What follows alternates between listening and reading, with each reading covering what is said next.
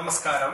Grand masters academy പനയന്നാർകാവിന്റെ P S C പാഠപുസ്തകങ്ങളിലൂടെ എന്ന വീഡിയോ ഭാഗങ്ങളിലേക്ക് നിങ്ങൾക്ക് സ്വാഗതം. ഞങ്ങൾ ഇപ്പോൾ ചർച്ച ചെയ്തുകൊണ്ടിരിക്കുന്നത് അഞ്ചാം ക്ലാസ്സിലെ വിവിധ വിഷയങ്ങളുമായി ബന്ധപ്പെട്ട പാഠപുസ്തകങ്ങൾ എങ്ങനെ പി എസ് സിക്ക് ഉപകാരപ്പെടുത്താം. അങ്ങനെയാണ് ഞങ്ങൾ ഇപ്പോൾ വീഡിയോ എടുത്തുകൊണ്ടിരിക്കുന്നത്. ഇന്ന് ഞാൻ നിങ്ങളോട് ചർച്ച ചെയ്യാൻ പോകുന്നത് അഞ്ചാം ക്ലാസ്സിലെ സോഷ്യൽ സയൻസിന്റെ മൂന്നാമത്തെ ചാപ്റ്ററായ നമ്മുടെ കുടുംബം എന്ന് പറയുന്ന ചാപ്റ്ററാണ് ഈ ചാപ്റ്റർ പി എസ് സിയുമായി ബന്ധമുണ്ടോ എന്ന് ചോദിച്ചാൽ അധികം ബന്ധമില്ല. കാരണം ഇത് സോഷ്യോളജിയുടെ ഒരു ഭാഗമാണ്. കുടുംബം എങ്ങനെ രൂപീകരിക്കുന്നു എങ്ങനെ ഏതൊക്കെ തരത്തിലാണ് കുടുംബമുള്ളത്. ഇത് ഞങ്ങൾ പ്രധാനമായും ഈ വീഡിയോ ചെയ്യാൻ കാര്യം അഞ്ചാം ക്ലാസ്സിലെ കുട്ടികൾക്ക് ഇത് ഉപകാരപ്പെടുമെങ്കിൽ അതൊരു വലിയ കാര്യമല്ലേ എന്ന് കരുതിയിട്ടാണ്. അപ്പോ അഞ്ചാം ക്ലാസ്സിൽ പഠിക്കുന്ന കുട്ടികൾ നിങ്ങളുടെ വീടുകളിലുണ്ടെങ്കിൽ അവർക്ക് ഈ വീഡിയോ നിങ്ങൾ കാണിച്ചു കൊടുക്കുക. ഒപ്പം നിങ്ങൾക്കും ഈ വീഡിയോ എങ്ങനെയാണ് ഒരു കുടുംബം ഒരു സമൂഹത്തിന്റെ അടിസ്ഥാനമായി മാറുന്നത് എന്നത് നമുക്ക് ഈ വീഡിയോയിലൂടെ പഠിക്കാം. അപ്പൊ നമുക്ക് ക്ലാസ്സിലേക്ക് കടക്കാം. അതിനു മുമ്പായി നമ്മൾ കേട്ട് പരിചയിച്ച ഒരു വാചകം നമുക്ക് നോക്കാം. കൂടുമ്പോൾ ഇമ്പമുള്ളതാണ് കുടുംബം. കൂടുമ്പോൾ ഇമ്പമുള്ളതാണ് കുടുംബം. അതെ നമ്മൾ ഒരുപാട് യാത്ര ചെയ്യാനൊക്കെ ഇഷ്ടപ്പെടുമ്പോഴും നമ്മുടെ വിനോദത്തിനും തീർത്ഥാടനത്തിനും ഒക്കെ യാത്ര ചെയ്യാൻ ഇഷ്ടപ്പെടുമ്പോഴും നമ്മൾ തിരിച്ച് നമ്മളെ വീട്ടിലേക്ക് തന്നെ അതായത് നമ്മളെ കാത്തിരിക്കാൻ ഒരു വീടുണ്ടെങ്കിൽ നമ്മൾ ആ വീട്ടിലേക്കാണ് വരുന്നത്. വീടെന്ന് പറയുന്നത് കുടുംബമാണ് അല്ലെ? നമ്മുടെ അച്ഛനും അമ്മയും മക്കളും ഭാര്യയും ഒക്കെ അടങ്ങുന്ന ഒരു കുടുംബം. അപ്പൊ ആ കൂടുമ്പോൾ ഇമ്പമുള്ളതാണ്. എപ്പോഴും ഒരുമിക്കുമ്പോൾ സ്നേഹമുണ്ടെങ്കിൽ അവിടേക്ക് വരാൻ എല്ലാവരും താല്പര്യപ്പെടും. ജോർജ് ബെർണാഡ് ഷാ അദ്ദേഹത്തിന്റെ ഒരു സാഹിത്യകൃതിയിൽ ഇങ്ങനെ പറയുന്നുണ്ട് happy family is an earlier heaven happy family is an earlier heaven നമ്മളെല്ലാവരും മരണത്തിന് ശേഷമാണ് സ്വർഗത്തെയും നരകത്തെ പറ്റിയൊക്കെ സംസാരിക്കുന്നത്. എന്നാൽ ജീവിച്ചിരിക്കുമ്പോൾ നമ്മുടെ കുടുംബം അത് സന്തോഷമുള്ളതാണെങ്കിൽ അതാണ് നമ്മുടെ ജീവിതത്തിൽ ഏറ്റവും വലിയ സൗഭാഗ്യം അഥവാ സ്വർഗം എന്ന് പറയുന്നത്. അപ്പോൾ ആ ചാപ്റ്ററിന് എന്തൊക്കെ? വളരെ ചെറിയൊരു ചാപ്റ്ററാണ്. ആ ചാപ്റ്ററിൽ എന്തൊക്കെയാണ് ആ, പഠിപ്പിക്കുന്നത് എന്ന് നമുക്ക് ഒന്നാമത്തെ പോയിന്റ് ഇതാണ്. അച്ഛനും അമ്മയും മക്കളും അടുത്ത ബന്ധുക്കളും അടങ്ങുന്നതാണ് കുടുംബം. അച്ഛനും അമ്മയും മക്കളും അടുത്ത ബന്ധുക്കളും അടങ്ങുന്നതാണ് ഒരു കുടുംബം. ജനനം ഒരാളെ ഒരു കുടുംബത്തിലെ അംഗമാക്കുന്നു. അപ്പോ ഒരു കുടുംബത്തിൽ എങ്ങനെയാണ് ഒരാൾ അംഗമാകുന്നത് എന്ന് ചോദിച്ചു കഴിഞ്ഞാൽ ജനനം കൊണ്ടാണ് ഒരാൾ ഒരു കുടുംബത്തിൽ അംഗമാകുന്നത്. ജനനം മുതൽ മരണം വരെ നാം കുടുംബത്തിൽ ജീവിക്കുകയും കുടുംബം നമ്മളെ സ്വാധീനിക്കുകയും ചെയ്യുന്നു. അപ്പൊ ഒരു വ്യക്തിയുടെ ജീവിതത്തിൽ അവനെ ഏറ്റവും കൂടുതൽ സ്വാധീനിക്കുന്ന ഘടകങ്ങളിൽ ഒന്നാണ് അവന്റെ കുടുംബം. ഒരു കുട്ടിയുടെ വളർച്ചയിലും പെരുമാറ്റത്തിലും കുടുംബത്തിനുള്ള പങ്ക് വലുതാണ്. അപ്പൊ നമ്മൾ കുട്ടികൾ മോശമാകുമ്പോഴൊക്കെ നമ്മൾ പറയാറുണ്ട് കുട്ടികളുടെ സ്വഭാവം മോശമാവുന്നത് കൂട്ടുകെട്ടിലൂടെയാണ് എന്നൊക്കെ പറയാറുണ്ട്. പക്ഷെ അതിലെ ആദ്യപടി നമ്മുടെ കുടുംബത്തിൽ അച്ചടക്കവും നല്ല പെരുമാറ്റവും ഒക്കെ പഠിപ്പിക്കുകയാണ് എങ്കിൽ അവന്റെ ജീവിതത്തിലുടനീളം നമ്മൾ മലയാളത്തിൽ ഒരു പഴഞ്ചൊല്ല് പറയാറില്ലേ? ചൊട്ടയിലെ ശീലം ചുടല വരെ എന്ന് പറയാറില്ലേ? അതേപോലെ തന്നെയാണ്. ഒരു കുട്ടിയുടെ വളർച്ചയിലും പെരുമാറ്റത്തിലും കുടുംബത്തിനുള്ള പങ്ക് വളരെ വലുതാണ്. ഇനി എങ്ങനെയാണ് ഒരു സമൂഹം രൂപപ്പെടുന്നത് എന്ന് നമുക്ക് നോക്കാം.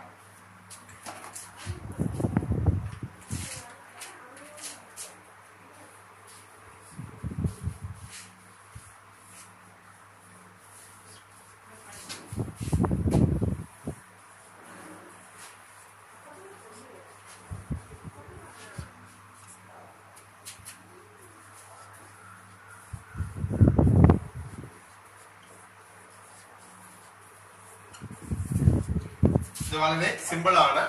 വ്യക്തികൾ കൂടുമ്പോൾ കുടുംബങ്ങൾ ഉണ്ടാകുന്നു കുടുംബങ്ങൾ കൂടുമ്പോൾ ഒരു സമുദായം ഉണ്ടാകും. സമുദായങ്ങൾ കൂടുമ്പോൾ ഒരു സമൂഹം ഉണ്ടാകുന്നു. അങ്ങനെയാണെങ്കിൽ ഒരു സമൂഹത്തിന്റെ ഏറ്റവും ലീസ്റ്റ് പോയിന്റ് അഥവാ ഒരു സമൂഹത്തിന്റെ ഏറ്റവും ചെറിയ കണിക എന്ന് പറയുന്നത് വ്യക്തികളാണ്. സമൂഹത്തിലെ ചിട്ടകൾ അതായത് ഒരു സമൂഹത്തിലെ ചില നോംസ് ഉണ്ടാവും. മര്യാദകൾ മാനേഴ്സ് ജീവിത രീതികൾ ആദ്യമായി നാം പഠിക്കുന്നത് കുടുംബത്തിൽ നിന്നാണ്. അതായത് ഒരു സമൂഹത്തിന്റെ നിയമാവലി നമ്മൾ പഠിക്കുന്നത് നമ്മുടെ കുടുംബത്തിൽ നിന്നാണ്. ഭക്ഷണം വസ്ത്രം പാർപ്പിടം തുടങ്ങിയ പ്രാഥമിക ആവശ്യങ്ങൾ നിറവേറ്റുന്നത് കുടുംബമാണ്. അതായത് ഒരു കൊച്ചുകുട്ടിയുടെ അവന്റെ പ്രാഥമികമായ എല്ലാ ആവശ്യങ്ങളും നിറവേറ്റി കൊടുക്കുന്നത് അവന്റെ കുടുംബമാണ്.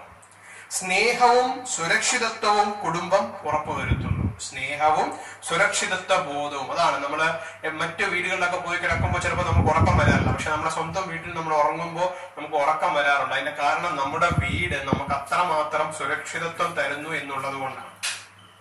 സാമൂഹിക ബന്ധങ്ങൾക്ക് തുടക്കമിടുന്നതും അവ വളർത്തുന്നതും നിലനിർത്തുന്നതും കുടുംബ ബന്ധമാണ് അതായത് നമുക്ക് മറ്റൊരു വ്യക്തിയോടുള്ള ബന്ധം. നമ്മൾ അതെങ്ങനെ മുന്നോട്ട് കൊണ്ടുപോകുന്നു അതിനെ എങ്ങനെ നമ്മൾ വളർത്തുന്നു ഇതെല്ലാം നമ്മൾ കുടുംബത്തിൽ നിന്നാണ് കണ്ട് പഠിക്കുന്നത്. അപ്പൊ സാമൂഹിക ബന്ധങ്ങൾക്ക് തുടക്കമിടുന്നതും അവ വളർത്തുന്നതും നിലനിർത്തുന്നതും കുടുംബമാണ്. അടുത്ത പോയിന്റ് ഇതാണ് കുടുംബം സമൂഹത്തിന്റെ അടിസ്ഥാന ഘടകമാണ്. നമ്മൾ മുമ്പേ പറഞ്ഞതുപോലെ ഒരു നല്ല സമൂഹത്തിന്റെ അടിസ്ഥാനം എന്ന് പറയുന്നത് നല്ല വ്യക്തികളായിരിക്കണം. അച്ഛനോടും അമ്മയോടും സഹോദരങ്ങളോടുമുള്ള ബന്ധം രക്തബന്ധമാണ്. നമ്മൾ പറയാറുണ്ട് രക്തബന്ധം. ഒരു കുട്ടിക്ക് അവന്റെ അച്ഛനോടും അവന്റെ അമ്മയോടും സഹോദരങ്ങളോടുമുള്ള ബന്ധത്തിനെ പറയുന്ന പേരാണ് രക്തബന്ധം. വിവാഹത്തിലൂടെയും ആളുകൾ ബന്ധുക്കളാകാറുണ്ട്. രക്തബന്ധം മാത്രമല്ല രണ്ട് കുടുംബങ്ങളിൽ ജനിച്ച രണ്ട് വ്യക്തികൾ പരസ്പരം വിവാഹം കഴിക്കുന്നതിലൂടെ അവർ ബന്ധുക്കളായി മാറാറുണ്ട്. മക്കളില്ലാത്ത പല ദമ്പതികളും കുട്ടികളെ ദത്തെടുത്ത് വളർത്താറുണ്ട്. അതായത് അങ്ങനെയും നമുക്ക് ബന്ധം ഉണ്ടാക്കാം. അതായത് രക്തബന്ധം വിവാഹങ്ങളിലൂടെയുള്ള ബന്ധം അടുത്തത് കുട്ടികളില്ലാത്ത ആൾക്കാർ ദത്തെടുത്ത് വളർത്താറുണ്ട്. അപ്പൊ ആ കുട്ടിയുമായി അവർക്കൊരു ബന്ധം ഉണ്ടാവുന്നു അങ്ങനെയും ബന്ധങ്ങൾ ഉണ്ടാകുന്നുണ്ട്. അച്ഛനും അമ്മയും മക്കളും മാത്രമുള്ള കുടുംബമാണ് അണുകുടുംബം. അപ്പൊ നമ്മൾ അടുത്ത് ഡിസ്കസ് ചെയ്യുന്നത് ഏതൊക്കെ തരത്തിലുള്ള കുടുംബങ്ങളാണ് നമ്മുടെ സമൂഹത്തിൽ ഉള്ളത്? ഒരു അച്ഛനും അമ്മയും അവരുടെ മക്കളും മാത്രം അടങ്ങുന്ന കുടുംബത്തിനെ നമ്മൾ വിളിക്കുന്ന പേരാണ് ന്യൂക്ലിയർ ഫാമിലി അഥവാ അണുകുടുംബം. അച്ഛനും അമ്മയും മക്കളും അവരുടെ കുടുംബവും ചേർന്നതാണ് വിസ്തൃത കുടുംബം അഥവാ എക്സ്റ്റെൻഡഡ് ഫാമിലി അച്ഛനും അമ്മയും അവരുടെ മക്കൾ. ഈ മക്കൾ വിവാഹം കഴിച്ച് അവർക്ക് ചെറിയ ഫാമിലി ഉണ്ടാവും. ഇവരെല്ലാവരും ഒരുമിച്ച് താമസിക്കുകയാണ് എങ്കിൽ അതിനെ നമ്മൾ പറയുന്ന പേരാണ് എക്സ്റ്റെൻഡഡ് ഫാമിലി അഥവാ വിസ്തൃത കുടുംബം. മൂന്നാമത്തത് ഇതാണ് മൂന്ന് നാല് തലമുറകൾ. ഒന്നിച്ച് ഒരു വീട്ടിൽ താമസിക്കുകയാണ് അപ്പൂപ്പൻ അമ്മുമ്മ അവരുടെ മക്കൾ അവരുടെ ചെറുമക്കൾ അങ്ങനെയുള്ള ആൾക്കാർ ഒരുമിച്ച് ഒരു കുടുംബത്തിൽ താമസിക്കുകയാണെങ്കിൽ അതിനെ നമ്മൾ വിളിക്കുന്ന പേരാണ് കൂട്ടുകുടുംബം അഥവാ ജോയിൻ ഫാമിലി അപ്പൊ ഓർത്തിരിക്കുക മൂന്ന് തരം കുടുംബങ്ങളാണ് നമ്മുടെ സമൂഹത്തിലുള്ളത്.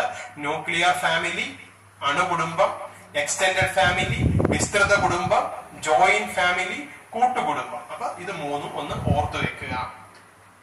അടുത്തത് എന്താണ് നമ്മളൊരു കുടുംബത്തിന്റെ സവിശേഷതകളായി കരുതുന്നത്?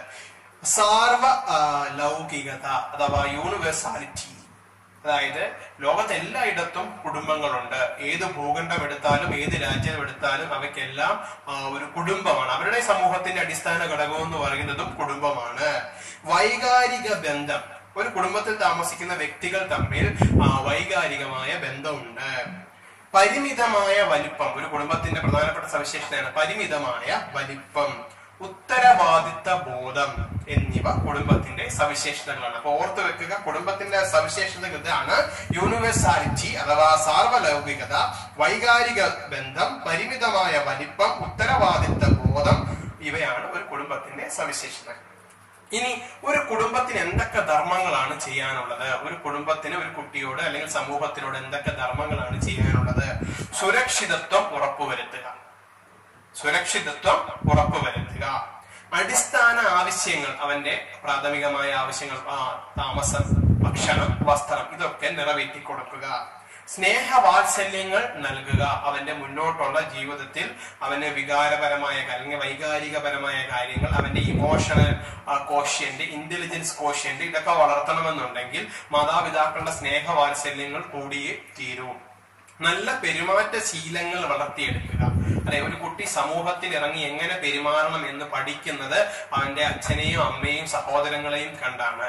അപ്പം നല്ല കുടുംബങ്ങളിൽ നല്ല കുടുംബം എന്ന് ഉദ്ദേശിക്കുന്നത് സാമ്പത്തികമായിട്ടല്ല നല്ല പെരുമാറ്റത്തോടു കൂടി കുഞ്ഞുങ്ങളെ വളർത്തുന്ന കുടുംബങ്ങളിൽ നിന്ന് വരുന്ന കുട്ടികൾ സമൂഹത്തിന് ഒരു വലിയ മുതൽക്കൂട്ടാണ്.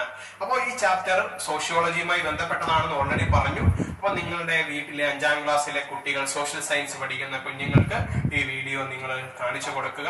അവർ കുടുംബത്തെ പറ്റി കൂടുതൽ അറിയട്ടെ നിങ്ങളുടെ കുടുംബ ബന്ധങ്ങളൊക്കെ കൂടുതൽ ശക്തമാകട്ടെ. നല്ല കുഞ്ഞുങ്ങൾ നല്ല സമൂഹത്തിന്റെ ഘടകങ്ങളാണ്.